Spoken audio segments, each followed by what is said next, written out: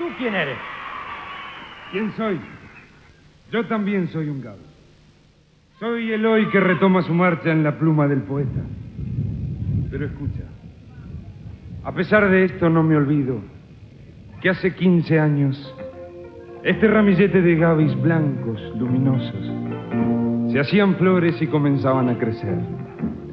Y siempre se seguirán abriendo, hinchándose, flotando, mientras dure en febrero su belleza infantil de parodista.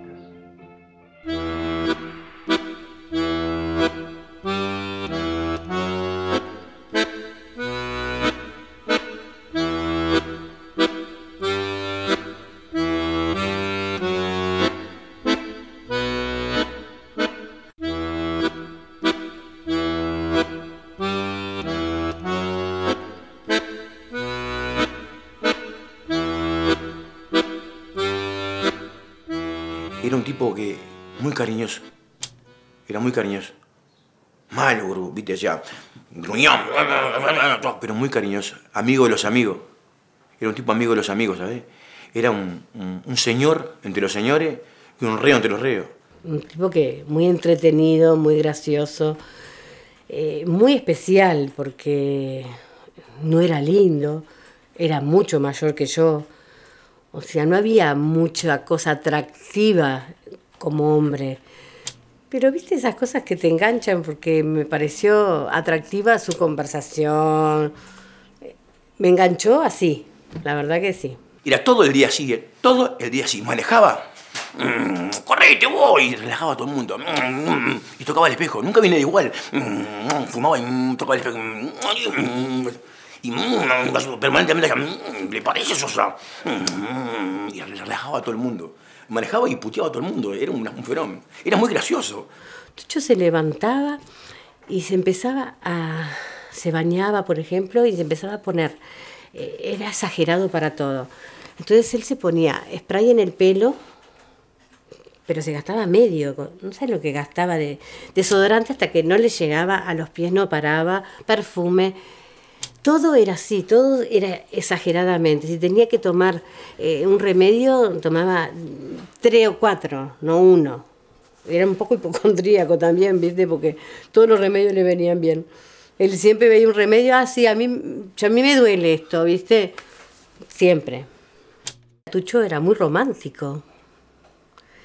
Pero ese romanticismo gracioso, en definitiva, ¿viste? Porque eh, yo te puedo decir, cuando nació Masi, me llevó un ramo de flores. Él se internó conmigo, tuvo los tres días que yo estuve internada, y me llevó un ramo de, mandó un ramo de flores enorme, divino, todo rosas.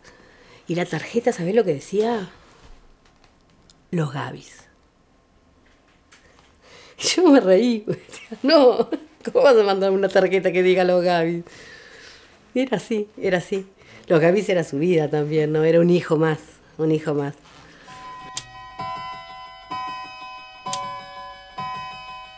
En el 73, cuando aparecen los Gavis, hay un cambio, es un antes y después del parodismo. Eh, le ponen la coreografía del carnaval en los parodistas. Creo que antes los parodistas tocaban con una guitarrita y dos claves, dos palitos, y con un- una guitarra en cada micrófono. Él le puso la banda, la orquesta, los parodistas. Y los Gavis marcaron una época, es el antes y el después de- del parodismo. Los Gavis fueron el conjunto, a mi entender, y por lo que yo he visto carnaval, escuchado, he leído, porque es una, cosa que me apasiona mucho, fue el conjunto más grande de la historia de carnaval por todo lo que generó, porque ah, salió 20 años y ganó 13 primeros premios, porque hizo parodias que quedaron, que hoy por hoy se siguen recordando, porque sacó figuras que hoy por hoy siguen siendo figuras de carnaval, porque a raíz de los Gavis surgieron conjuntos que han sido referentes de la categoría, como los Valentinos, que sacó Miguel Villalba, como los Nazarenos, que sacó Miguel Villalba, como los Cíngaros, que hoy por hoy es el conjunto de parodistas más popular de carnaval, que lo saca Pinocho, y fueron, este, bueno, los, los Momo Sapiens, este, estaba con Horacio Rubino, que también tiene, este, que nació en los Clapper, pero tuvo un pasaje muy importante en los Gaves. Entonces, todos los conjuntos de parodistas tienen eh, raíz o tienen parte de la raíz en los Gaves. Entonces, por eso los Gaves creo que fueron tan impresionantes también. Este, y, es, ya es un mito los el tema de los Gavis ya es un mito. Antes de abrir el telón, cuando, cuando el, el bollero anunciaba a los Gaby, te corría todo un frío, un frío por la columna vertebral que te erizaba todo, era una cosa impresionante, tenías que salir de eso, ¿viste? Iba saliendo a medida que iba transcurriendo el espectáculo. Pero antes, cuando ¡pa! era una explosión que se metía para dentro del teatro verano, que era impresionante. Eso es un recuerdo que no se olvidan nunca. Es inolvidable, inolvidable. Mire, ¿cómo le va? Mucho gusto, ¿no? Yo no robo componentes, me dijo, pero si usted quiere salir en los Gaby, tiene la puertita abierta. Hablaba todo en diminutivo, ¿ves? Era muy gracioso, muy gracioso, extremadamente gracioso. Y ahí lo conocí y él me invitó a salir en los Gavis, en los Gavis 84. Y hicieron un viaje a, Estados Unidos, al cual me invitó. Yo no creí que iban a ir a Estados Unidos, no le creía. Al final viajaron y le fue muy bien. Y el año siguiente salí de vuelta con, con los Walkers, que hice Pinocho. Y después en el 85 se me dio el, el- gran gusto de salir con él en los Gavis. había mucha competencia, era de replay porque estabas ensayando y en muchos ensayos, en muchos ensayos, a veces entraba y ya entrábamos a mirar para abajo, ¿no? A la gente, y si veías un bolso ya desconfiable porque había una radio adentro gra- grabando el ensayo de nosotros. Y se armaban cada lío que ni te cuento. Y vos sabés que era así, ¿no? Era así, porque a veces uno va primero que el otro y el otro tira los chistes de, que- de los tuyos, los tira antes, entonces ya te lo quema. Era así, era. Eh, Viste que la competencia siempre fue con los clapper. La más, la más competencia, ¿no? Después fue un poco los Walker y los Adams también. Pero no fue tanto como con los clapper. Por ejemplo, a mí él me... Yo iba al teatro de verano a verlos a todos, porque él no iba a ver a ninguno. Él jamás vio un parodista en el teatro de verano. De repente los podía pescar un poquito en, el, en, algún tablado, ¿viste? Pero al teatro de verano él no entraba estando un parodista, jamás. Nunca fue. Y a mí mandaba a mí. Entonces yo venía y le contaba. Y había veces que me gustaba, porque, o sea, que había visto un buen espectáculo. No, no, no te puedes imaginar. Se ponía tan malo, tan malo, tan malo, que parecía que yo estaba mintiendo. Me decía como que, que no podía ser, ¿viste? Entonces era comiquísimo porque yo me reía, pero a mí me gustó. Bueno, no puedo decir los disparates que podía decir, porque ya se enojaba conmigo porque me había gustado, ¿viste? Era muy cerrado en eso. Él quería ganar y ganar y ganar. Y él tenía mañas, y yo pienso que algunas mañas me, me quedaron de él. Eh, hacía cosas, pero aparte, todo acompañado con el humor. ¿Viste? Él te ganaba. Una vez, antes de, morir, terminó el carnaval del año 92 y tenemos un espectáculo a los pocos días en el, un teatro precioso que tiene el San Francisco de Sales, ahí en, en Agraciada y Boulevard. Había un teatro, y entonces a ese espectáculo iba a ir los Gaves. Y ¿Sos a la compañía que vamos a un contratito ahí? Habla con vamos tuyo, iba a todos lados con él. Llegamos y habló con el cura, con el padre de ahí. Dice, Bueno, mire, este, Horta, mucho gusto, los Gaby, usted me dijeron que quieren que venga acá, no sé cuánto. sí, mire, Horta, le dijo el padre, está entre ustedes y, y Momo Sapien. Todavía no sabemos quién va a venir. Ay, ¿para qué? Una caridad. Dijo, Así, padrecito, que usted va a traer a Momosapiens, ¿no? Mm, qué lindo lo que le espera, padre. ¿Eh? Vaya retirándose de la iglesia. mm, ¿Sabe cómo lo van a sacar de acá a usted? y el cura lo miraba, ¿viste? ¿Por qué me dice eso, Horta? ¿Sabe cómo le pegan a los curitas a los Momosapiens? ¿Me mira parodia que hacen? El nombre de la rosa ese. Las cosas que dicen de la iglesia. Usted haga lo que quiera, ¿no? No, no, espere, espere, espere, Tucho, hagan los afiches que vienen los Gaby. Oh, no, si le digo porque usted va a quedar por usted, padre. Si quiere, tráigalo. Los peló, los Momo Sapiens, fueron los Gaby. Un fenómeno. Te ganaba ligero, rápido, ¿viste? Se acordó de eso y le dijo, el cura temblaba. Dijo, no, que vengan los Gaby. Hagan los afiches, dijo el cura, ¿viste? Un fenómeno era.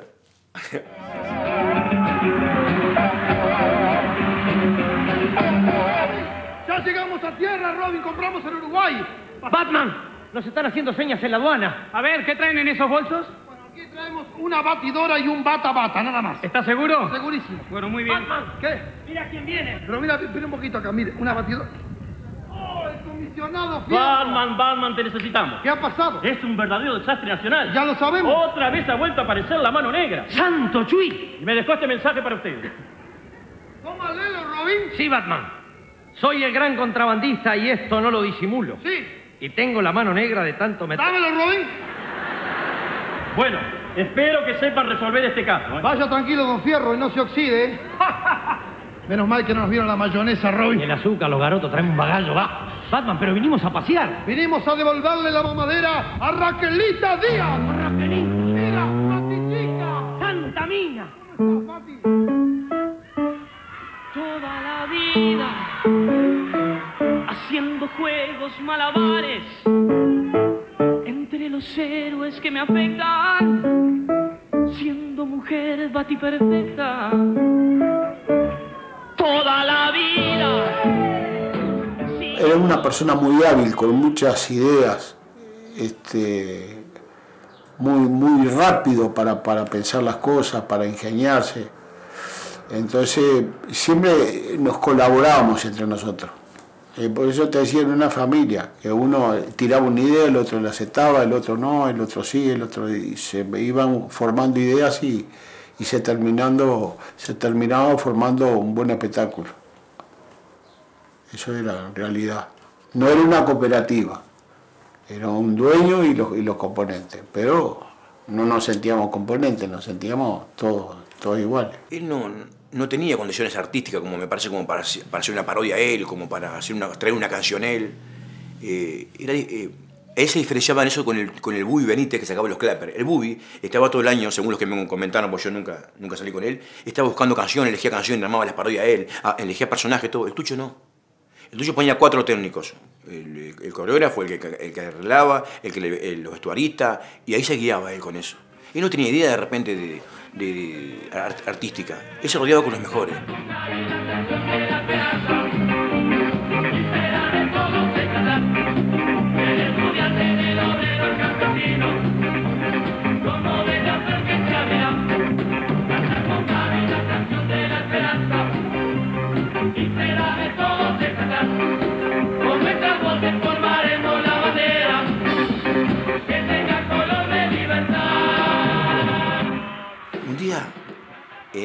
En el 90, estaba larga la parodia. Entonces, él no leyó la parodia. A ver qué se podía cortar. Y había que cortarla sí o sí, porque estaba muy larga. Agarró el libreto, sacó dos páginas. Esto no va. Esto no va. No sabía que era él. Esto no va. Cayó esas dos páginas, un tema de lambada, que estaba de momento de la lambada. Y la lambada la cantaba Carlitos Rodríguez. No, Tucho, ¿cómo vas a sacar la lambada? No es que la lambada mata, le decíamos. El tema de Carlito mata. La lambada no va. Eso no va, se terminó. No va. ¿Cómo está? Toca morrachiflado, sacó la lambada, no sabe nada, Tucho, qué bajada, no sabe nada. Llegó el carnaval y los conjuntos aburrían con la lambada. Los humoristas lambada, la revista lambada, todo, todo el mundo, los, los parodistas de lambada, las murgas lambada. Eran giles. Los Gaby no hacen lambada. Los, los que hagan lambada. Los Gaby no hacen lambada. Salió ganando él. Pero él no tenía, él no era capaz de crear una parodia, de, de crear una canción, de elegir un vestuario. Él se rodeaba con los técnicos.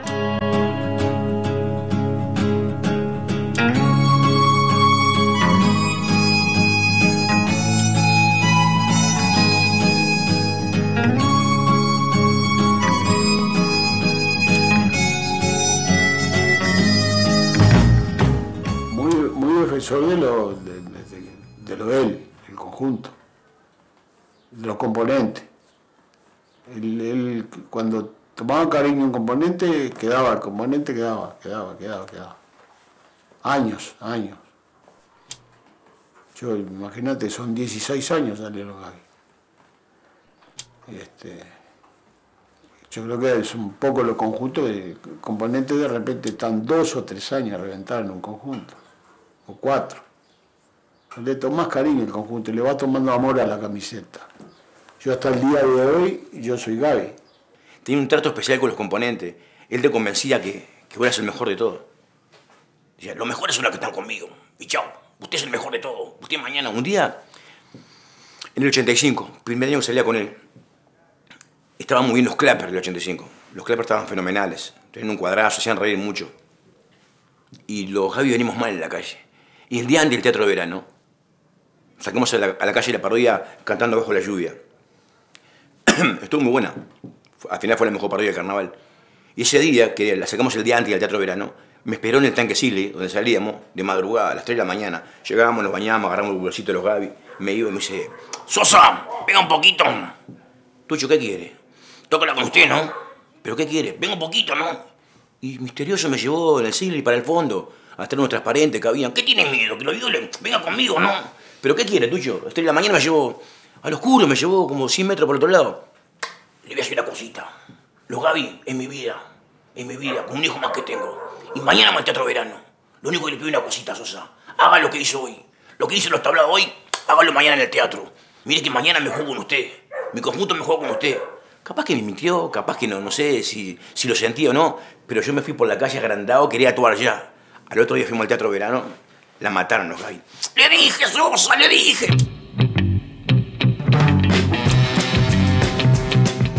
Siempre quería ganar. Él este, peleaba hasta el último por su conjunto. Y siempre trataba de presentarlo lo mejor posible. Una vez, en el 90, desfilamos un sábado y llovió. Y se suspendió para el otro sábado. En esa semana seguimos ensayando. El carnaval se, corrió una semana el carnaval. Al- Cuando vino ese segundo desfile, que era el primero, ¿no?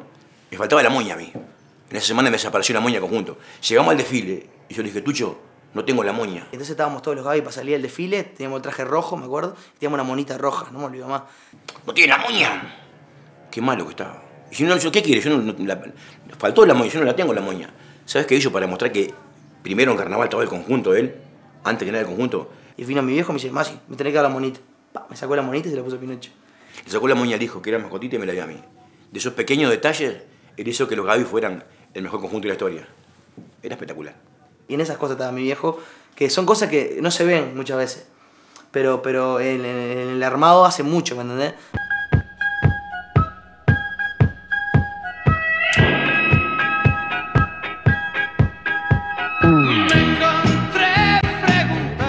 Aprendí mucho con él porque aprendí a tener respeto con las amistades más que con nadie, ¿viste? Él era muy derecho con la gente. Y todo, yo creo que me dejó hasta el humor, porque mi vida cambió mucho, fue un antes y un después, ¿no?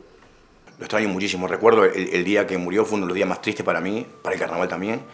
Fue un primero de mayo. Un primero de mayo de, de- del 92. Yo venía con la gente de Caribe, dejando uno por uno los, los cantantes, los músicos en la casa porque no había locomoción, en el micro de Caribe. Y cuando dejamos a Miguel Cufó en la casa, eh, Miguel Cufó habló, vi la calle Verdi, habló con la esposa del segundo o tercer piso, algo le dijo. Yo iba en el último asiento de- del micro y él estaba en la puerta. Y ahí medio la- Pino dice, ¿qué pasó Miguel? Mirá que murió el tucho. Oh, me mató, me liquidó. Muy triste me quedé, el velatorio fue una cosa muy triste, el entierro fue muy triste. Sufrí, la verdad que fue una de las veces que más sufrí en mi vida. Hasta el día de hoy lo extraño. Lo conocí eh, poco en relación a lo que fue su vida, pero compartí muchas cosas porque vivía todo el tiempo con él, iba a todos lados con él. Entonces, eso también, este, por eso creo que me impactó mucho en el momento, no, no, no- como me costó caer. Yo creo que la primera vez que lloré eh, realmente, y creo que no sé si alguna vez lo conté, capaz que algún amigo, eh, nosotros con los Gaby 93, en la despedida hacían un homenaje a mi viejo que cantaba Miguel Villalba. Eh, ensayaron, viste, como que mismo cuando lo escuchaba el tema no, no, no caía. Este, cuando fuimos, a, fuimos al tablado de la Expo, que era un tablado que los Gaves iban muy seguido, este, subió, en los, estaban los Gaves, yo eh, bailaba y todo. En la despedida se para todo el conjunto, nos, nos paramos los Gaves, yo me paraba en un costado, eh, arranca a cantar Miguel Villalba, este, y fue como que fue el primer momento que dije, ahí caí, caí de verdad que había fallecido mi viejo y me puse a llorar de una manera, o sea, se me cayó la cara, fue una cosa espantosa. Empecé a llorar mal este, y me fui corriendo, me fui corriendo por el camión de los Gaves, me fui y me quedé sentado en el camión. Y durante un par de semanas, todos los días cantaban la despedida de los Gaves, me ponía a llorar. Era el momento como que yo caía. Miguel Villalba la descosía y le cantaba con una emoción tan grande.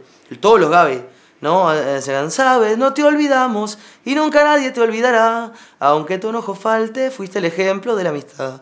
Gracias por la familia que tú creaste con gran amor. Son tus gavis que cantan a tu memoria y con emoción. Y, y- y era una cosa tan emocionante como la cantaba Miguel Villalba. El tipo le cantaban todos los tablados igual, se erizaba y, y- y no había quien no se emocionara. O sea, la gente de los tablados se ponía a llorar. Y yo, obviamente, me ponía a llorar, me iba de, los- me iba de los tablados, todos los tablados me iba llorando. Y creo que fue ese momento cuando realmente caí en carnaval que, que falleció mi viejo y lo sentí, lo sentí en ese momento, lo sentí mucho durante todo carnaval.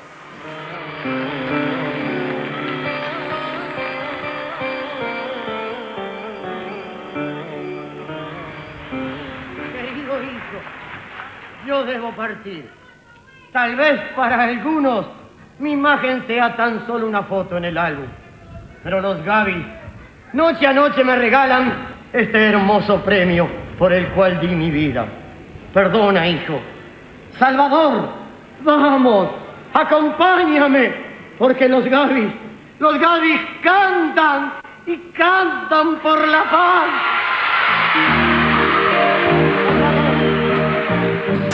Esperando que ayude el buen tiempo para ver si puede ser un carnaval bastante bueno, que lo vemos con bastantes dificultades, pero pienso que de repente se puede llegar al final. Lo del teatro nos duele mucho, ayer fue un día muy bravo para todos nosotros, que era el día que íbamos a ir a concursar. Sabes, no te olvidamos y nunca nadie te olvidará. Aunque tu enojo falte, fuiste el ejemplo de la amistad.